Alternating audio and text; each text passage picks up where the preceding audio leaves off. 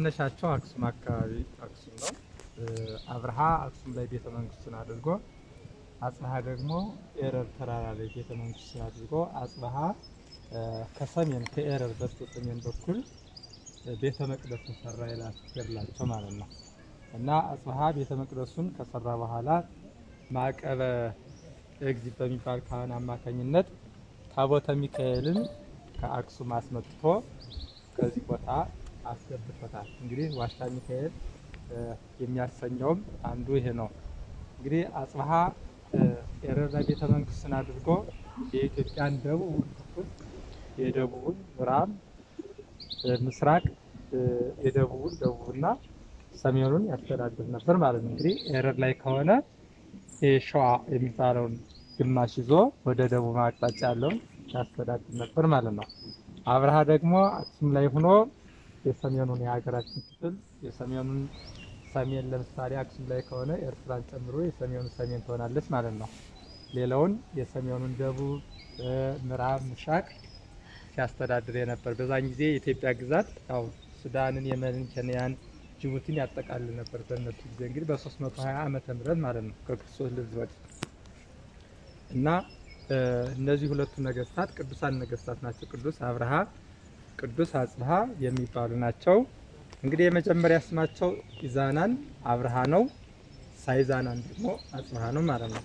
ክርስትናን ከተቀበሉ በኋላ በአቡነ ሰላማ አማካኝነት የመጀመሪያው አንዱ አብርሃ ተብሎ አብርሃ ማለት አበራ ማለት ነው። አጽብሃ ማለት ደግሞ አነጋ ማለት ነው እና ይህ ታሪክ በ320 ዓመተ ምህረት የተሰራና ምክንያቱ በዚህ መቅደስ መሰራቱ አጽብሃ ይሁን እንጂ እንግዲህ በዘመናቸው ስልሳ ያህሉ አብያተ ክርስቲያናት ተመስርተዋል። በንጉሥ አብርሃና በንጉሥ አጽብሃ ጊዜ ማለት ነው። እንግዲህ ከስልሳዎቹ አርባ አራት ያህሉት ልክ በድንጋይ በጠርብ ድንጋይ ወይም ደግሞ ድንጋዩ ተፈልፍሎ ከአለት ላይ ይህን በመሰለ ድንጋይ ላይ አርባ አራት ያህሉ አብያተ ክርስቲያናት ተሰርተዋል። ሌሎቹ ደግሞ በጽድ በዝግባ በተለያዩ ዛፎች የተሰሩ ናቸው ማለት ነው እና እነዚህ ቅዱሳን ነገስታት እጅግ በዘመናቸው ፍርድ ርት እንግዲህ ፍርድን ሳያጓድሉ ለሕዝባቸው ርቱ የሆነ ወይም ቀና የሆነ ቀና የሆነ ፍርድ ከእግዚአብሔር እየተሰጣቸው ለሕዝባቸው ያስተላልፋሉ። ሕዝባቸውን ይመሩ ነበር ማለት ነው። እንግዲህ ከብቃታቸው የተነሳ እነሱ እንዳሁን ልክ እንደኛ ፈረስ ወይም ደግሞ በቅሎ ወይም ደግሞ መኪና፣ አውሮፕላን አይጠቀሙም። እነሱ እግዚአብሔር በሰጣቸው ጸጋ በመንፈስ ቅዱስ ተራዳይነት ከቦታ ወደ ቦታ የሚዘዋወሩት በራሳቸው እግዚአብሔር በሰጣቸው መመላለሻ ማለት ነው። ልክ እንደነ ኤልያስ ልክ እንደነ ሄኖክ ራሳቸው ሰረገላ ነበራቸው ማለት ነው እና በዚህ እየተንቀሳቀሱ የህዝቡን ጥያቄ ለህዝቡ ፍትህ፣ ትምህርት ይሰጡ ነበር። እንግዲህ በዘመናቸው ወንጌል የወንጌል አገልግሎት ወይም የወንጌል ትምህርት የተስፋፋበት ነበር ማለት ነው በአጽብሃና በአብርሃ ጊዜ እና እነዚህ ቅዱሳን ነገስታት እንግዲህ ይህን ቤተ መቅደስ ሲሰሩ ሌላው ታሪክ ደግሞ እዛ ኮሎኑ ከጀመረበት ላይ ይዘን ወደዚህ ስንመጣ ከዚህ ደግሞ አግድም ስንሄድና ከአግድም ደግሞ ወደ ላይ ስንወጣ የሀሌታዋን ቅርጽ የያዘ ነው ተብሎ ያው ትርጉም ይሰጠዋል። እንግዲህ ይህ የሆነበት ምክንያት በእኛ በቤተ ክርስቲያናችን የፊደል አተረጓጎም ወይም ደግሞ ሀያ ሁለቱ ወይም ሀያ ሰባቱ ፊደላት ሁሉ የአምላክ ስሞች ናቸው ማለት ነው። ዝም ብሎ ለግዕዝ ወይም ደግሞ ለቤተክርስቲያን አገልግሎት ብቻ ሳይሆን ሁሉም ፊደላት ሰባቱም የሆኑ አንዱ ሰባት ድምፅ ቢኖረውም ሁሉም የአምላክ ስም ነው ማለት ነው። እንግዲህ ሀ ማለት በፊደል አቀማመጥ የመጀመሪያ ነው። በትርጉም ግን ሀ ብሂል ሀልወቱ ለአብ እምቅድመ ይፈጠር ዓለም ሀ ማለት ዓለም ሳይፈጠር የእግዚአብሔር አብ መኖር ማለት ነው። የእግዚአብሔር አብ፣ የእግዚአብሔር ወልድ፣ የእግዚአብሔር መንፈስ ቅዱስ ማለት ነው እና ይሄ አሰራሩ ወደ ታች ለምሳሌ ከላይ ሆነን በወፍ እይታ እኛ ወፎች ብንሆን ወይም ደግሞ ከላይ ከፍ ብለን ወደ ታች ብናየው ይሄንን እንደ ወረቀት ብንቆጥረው ልክ ሀን ብንጽፍ በዚህ ስሪት ነው የምንጽፍ ማለት ነው። እንግዲህ እና እንግዲህ ሀ በፊደል በአጠራር ሀ ግዕዝ እንላለን አይደል? ሀ የመጀመሪያው ሀ ሀ ግዕዝ፣ እዛ ደግሞ ሁ ሲሆን ሁ ካይ፣ ሀ መጀመሪያ፣ ሁ ሁለተኛ፣ ሂ ሶስተኛ፣ ሳልስ ራብዕ አምስት፣ ሳድስ ሳብ ማለት አንደኛ ሁለተኛ። ለምሳሌ ሀ ግዕዝ ስንል ሀ አንደኛ፣ ሁ ካዕብ ስንል ሁለተኛ፣ ሂ ሳልስ ስንል ደግሞ ሶስተኛ፣ ሀ ራብዕ ስንል ደግሞ አራተኛ፣ ራብዓይ፣ ካልዓይ፣ ሳልሳይ፣ አምሳይ፣ ሳድሳይ፣ ሳብዓይ እያለ ይሄዳል ማለት ነው። እንግዲህ ሀ ግዕዙን ያደረጉበት ምክንያት እንደ ቤተ ክርስቲያን ስራ በዘመናቸው መጀመሪያ እንደማለት አይደል? ግዕዝ ማለት ዋነኛ መጀመሪያ ቀዳሚ ማለት ነው። በቋንቋም በአጠራር ሀ ግዕዝ ስንል መጀመሪያ አይደል? ለምሳሌ በዓለም ቋንቋ ግዕዝ ቋንቋ ስንል ግዕዝ ማለት ለሰው ልጅ መጀመሪያ ማለት ነው።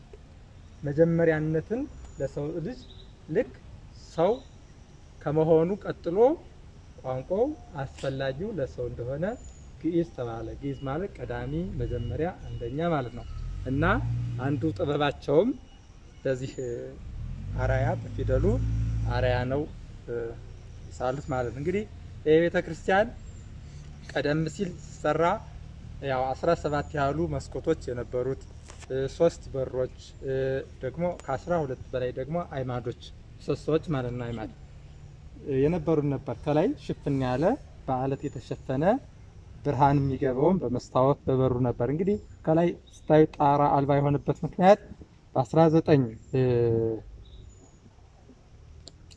ይቅርታ እንግዲህ ታቦተ ሚካኤል መጀመሪያ ላይ ይቅርታ እዚህ ቦታ ከገባ በኋላ አጽፋ ካመጣው በኋላ ለብዙ ዘመናት ከኖረ በኋላ እዚህ ተነስቶ ወደ ኢቲሳ ሄዶ ነበር።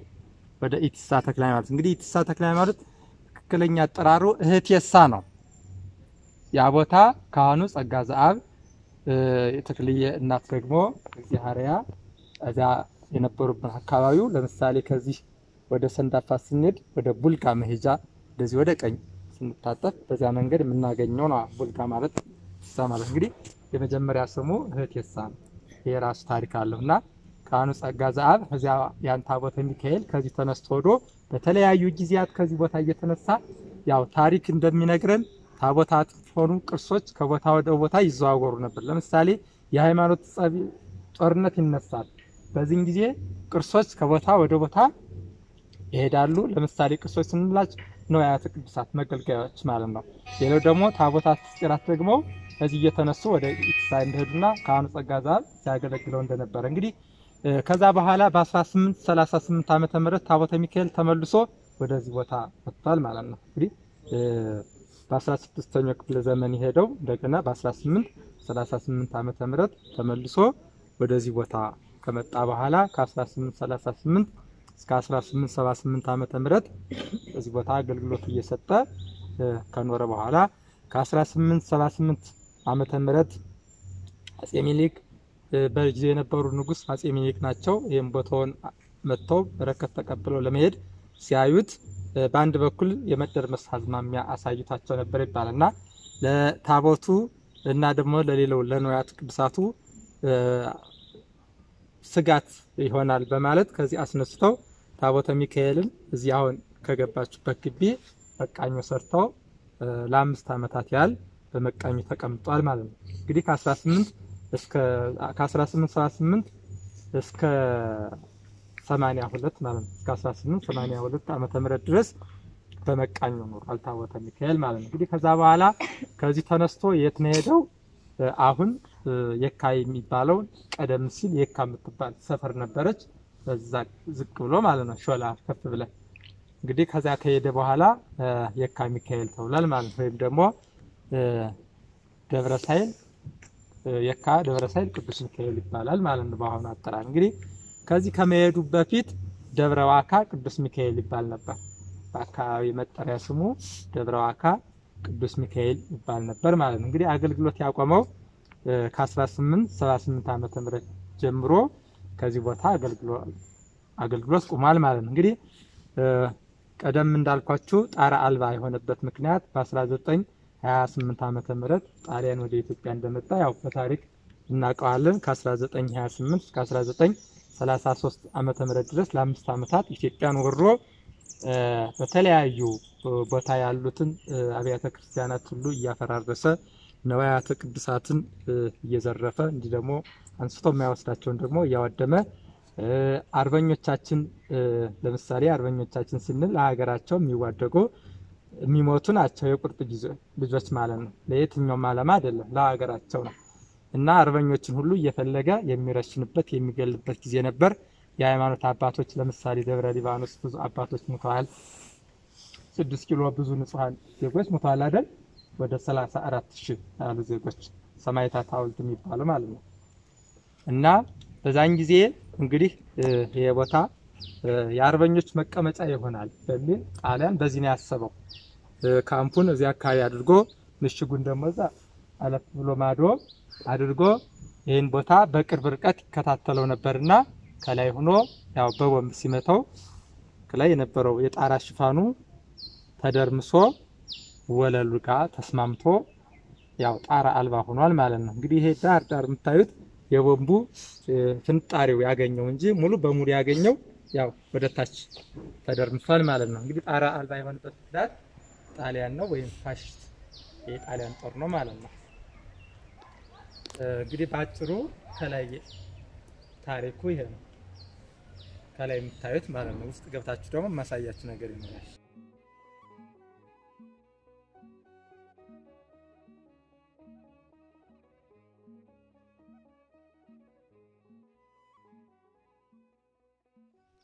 ኮሎኖቹ ለምን ቆሙ ነው እንግዲህ ማንኛውም ቅርስ እንደዚህ ይህን የመሰለ ቅርስ ፀሐይና ዝናብ ከተፈራረቀበት የመጎዳት አቅሙ በጣም የጎላ ነው ማለት ነው። ለምሳሌ አሁን ክረምት ነው፣ እንደዚህ ዝናብ ይሄድበታል፣ ሳሮች ይበቅላሉ፣ እጽዋቶች፣ ሌሎችም ዛፎች ይበቅላሉ። የእነዚህ ስራቸው ይህንን አለቱን ወደ አፈር እየቀየረው ነው የሚሄድ።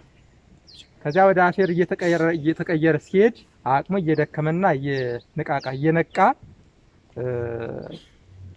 ያው ለመደርመስ ይቃረባል ማለት ነው። እንግዲህ በጋ ሲሆን ደግሞ ፀሐይ ሲሆን ደግሞ ያ ክረምት የከረመው ዝናብ ወደ ፀሐይ ደግሞ ሲሄድ ደግሞ ፀሐዩ ደግሞ የበለጠ በጣም ይጎዳዋል ማለት ነው እና ከዚያ ለማዳን ከላይ ጣራ ተሰርቶ መጠለያ ተሰርቶለት ልክ በቡለን ታሰርና ከላይ ለፀሐይና ለዝናብ ሽፋን ይሆናል በሚል የተጀመረ ጅማሮ ነው እና ለዛ ነው የተሰራው። ያው የቅርብ ጊዜ ስራ ነው።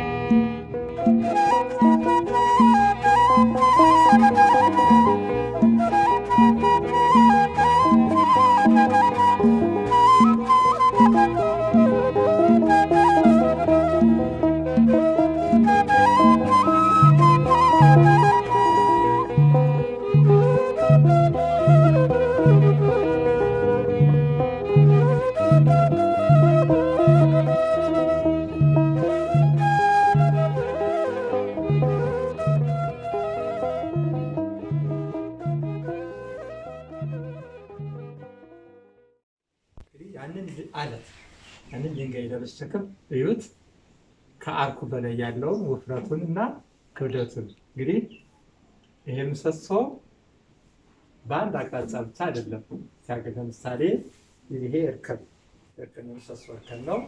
ከዚህ ከእርከኑ ተነስቶ በዚህ አንድ አርክ ይሰራና ከዚህ ጋር ይገናኛል ማለት ነው። ይሄ ደግሞ የግድግዳ ምሰሶ የግድግዳ የመሀል ምሰሶ ይባላል በግድግዳ ይሄ ደግሞ የውስጥ ምሰሶ ማለት ነው። አሁን ይሄ ከዚህ ተነስቶ አርክ ይሰራና ወይም ደግሞ በጥንታዊው አባባል ቀስተ ደመና ይባላል። አርክ ማለት ወደ አማርኛ ሲቀየው ደጋን ማለት ነው። ቀስት ማለት አይደል? ከዚህ ተነስቶ ቀስተ ደመና ይሰራና ከዚህ ይገናኛል ማለት ነው። እንግዲህ ጣራውን የሚሸከሙት አንዱ ምሰሶ በአራት ማቅጣጫ አርክ ይሰራል ማለት ነው። እዩት። ከዚህ ተነስቶ ከእሱ ምሰሶ ጋር ተገናኝታል።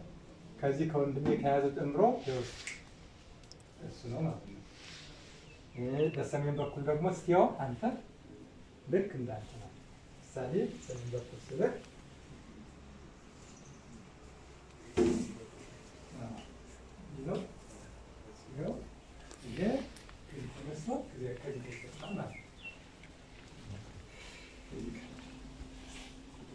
ከቆምኩበት ጀምሮ ከዚህ ይዞ ከዚህ ደርሳል ማለት ነው። አንድ ቀስተ ደመና ወይ ደግሞ አርክ በማትልቅ ይህ ከላይ የምታዩት የንዋያተ ቅድሳት ማስቀመጫ የነበረ ነው። ቀደም ሲል መጻሕፍቶች የሚቀመጡበት አልባሳት፣ መብራቶች፣ ቀንዲሎች፣ ዘይቶች፣ የተለያዩ የመብራት አገልግሎት ሲሆን ከዚህ አካባቢ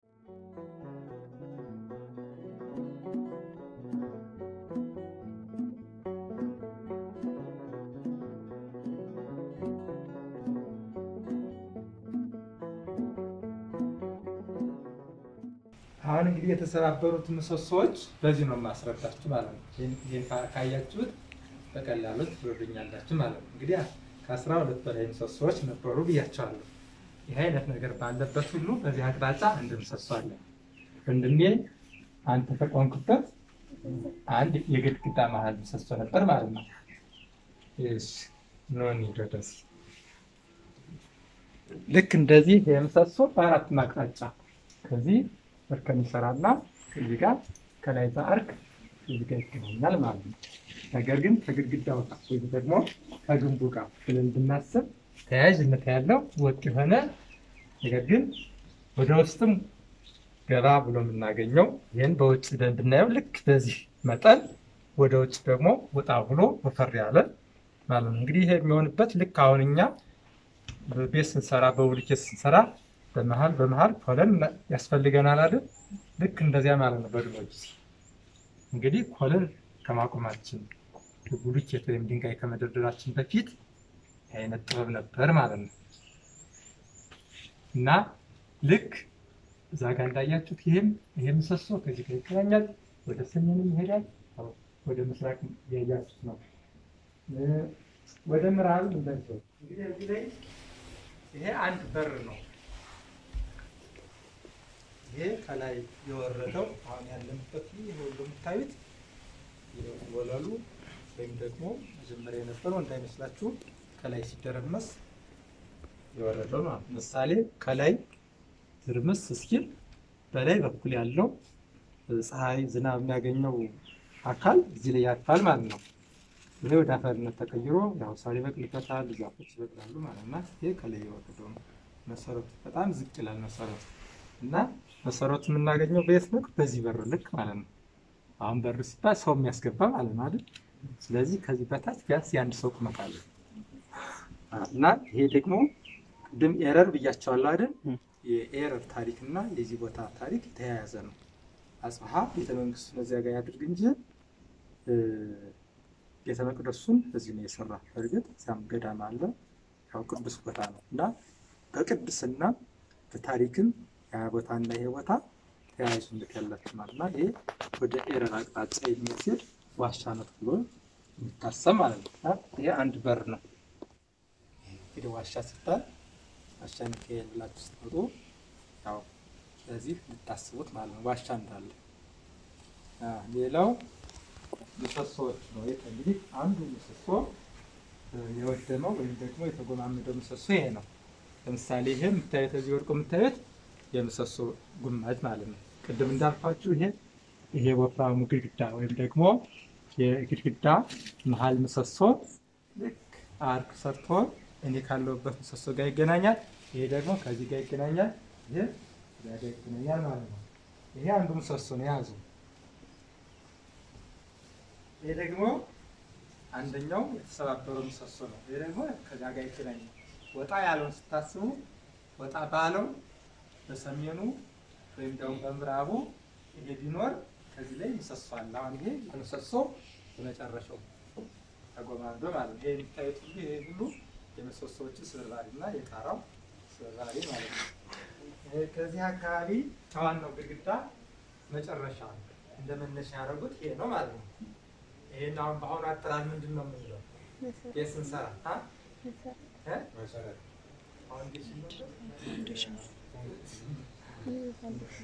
እንግዲህ አያችሁት አሰራሩን። ይሄ መቅጠን ይችል ነበር አይደል? እዚህ አካባቢ ያለውን ቆፍረው ሌላ ቦታ ማድረግ ይችሉ ነበር። ግን ለዚህ ጽናት ዋናው መሰረቱ ይሄ ስለሆነ የዚህ ጥንካሬ ለዚህ ነው። አሁን ይሄ የምታዩት በዚህ ጥንካሬ ይሄ ወፍራም ባይሆን ይሄ ወፍራም ባይሆን ይሄ ስስ ነው በጣም እድሜ አይኖረውም ማለት ነው። የዚህ መኖር ስለዚህ ያው ከደረሰበት ጉዳት አለ ማለት ነው። እንግዲህ በዚህ አቅጣጫ ቀጥ ብለን የምናያቸው ሁሉ ምሰሶዎች አሉ ማለት ነው።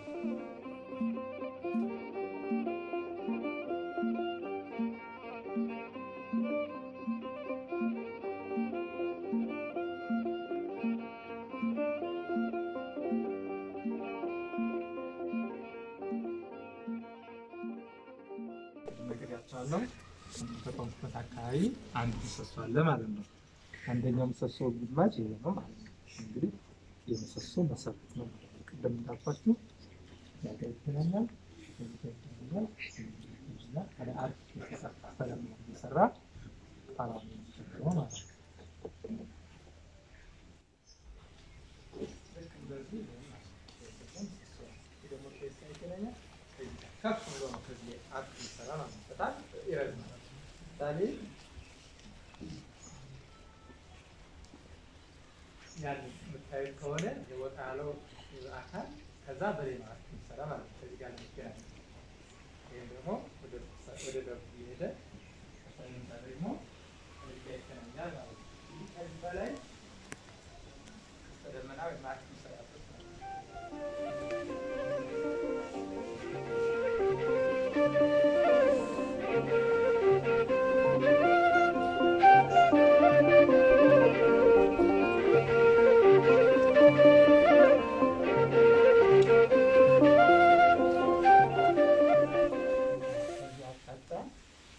ደግሞ በሩ የሸፈነው ከላይ የተደረመሰው አሁን ያለበትም ከላይ የፈረሰው ነው ያልተነሳው።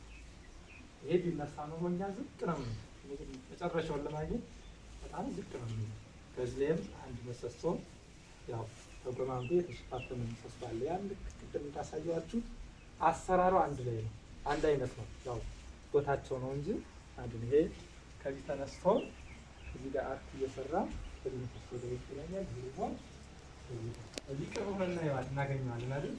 ይህ ዝቅ ይህ ይሄ እንድናነሳው በጣም ዝቅ ያመና ማለት ነው።